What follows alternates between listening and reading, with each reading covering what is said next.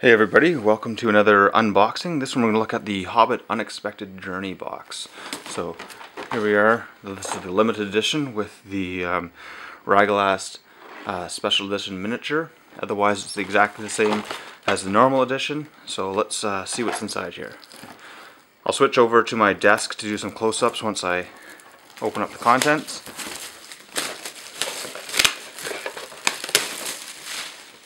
Okay, so here we have all of our regular slotted bases. Looks like a whole lot for all the goblins and characters. Um, right off the bat we have two sprues of goblins. Seems like the regular GW stuff. Now it's neat to note these are the smaller size sprues that fit into your regular um, boxes, not the usual large, large sprues that you see in something like Dark Vengeance or uh, Fantasy um, Island of Blood. And so they've done the Thorin's Company as one single sprue as well. And we'll look at that closer in a second. Um, here's the special Goblin King sprue with the special characters for the box only. And I presume these are exclusive to this set.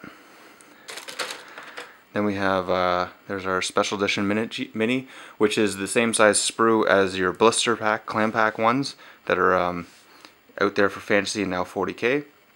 And this one's a press fit, so there's all pegs and holes for everything. That's nice. Dice.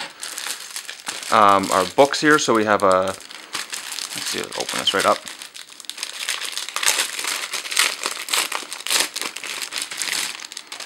So we have our Hobby, Hobbit strat strategy battle game rulebook, and uh, from the reviews I've read online, there's no points values in here. It's just the basic rulebook, kind of like what they do for 40k and fantasy. Nice color, some photos from the movies. Um, we have our play sheet that gives us some turn sequences and uh, tables. We have assembly instructions. There's for Radagast the Brown. And then the rest of the Escape from Goblin Town book here.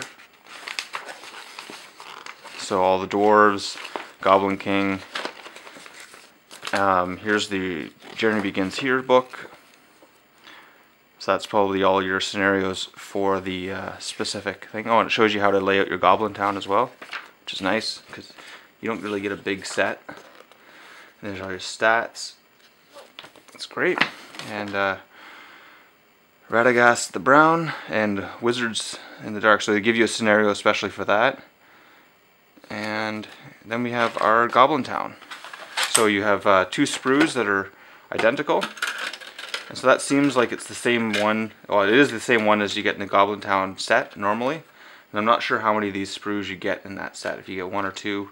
Actually there's a, a second sprue that's different from this. If you go to the GW site you can see the sprue picks. And there's two different sprues you get in that one. There's the Goblin King base and a nice ruler. Actually that's a decent one, looks like it fits together and can rotate. Might have to paint some lighter numbers in there. But it's better than the whippy sticks they usually give you. So there you have it. That's what's inside the box. And uh, we'll take a closer look at these sprues. Hang tight.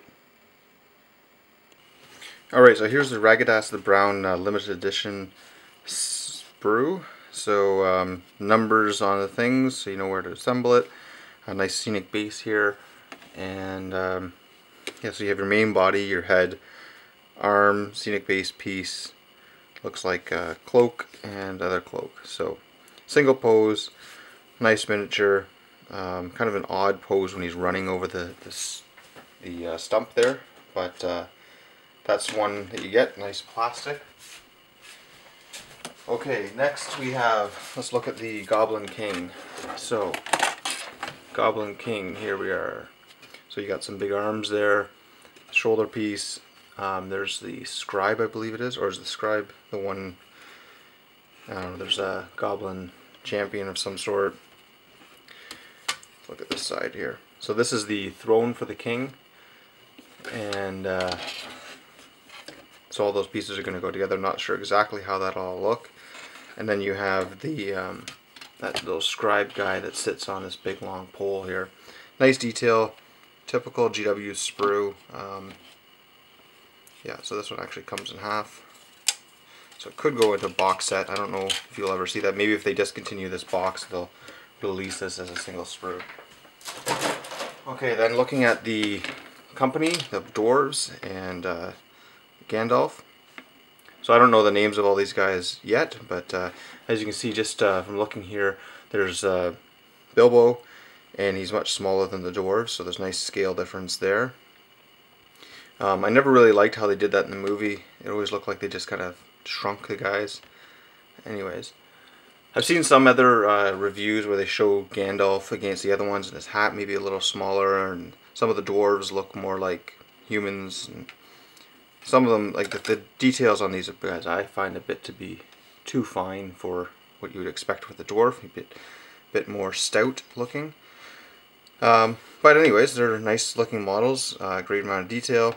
Uh, with Bilbo you have the staff and sting options, make sure it's on there. And um, yeah, the rest of them I believe are all single pose, no options, and your typical press fit with your holes and things. So you don't need glue, but highly recommended. I like to use um, extra thin glue for this type of stuff. That's out of focus. Uh, the idea being that the press fit gets you really, really close. The extra thin glue just flows in that crack there and you don't have any residue. So you have two sprues of the goblins and they're all single poses, single piece miniatures.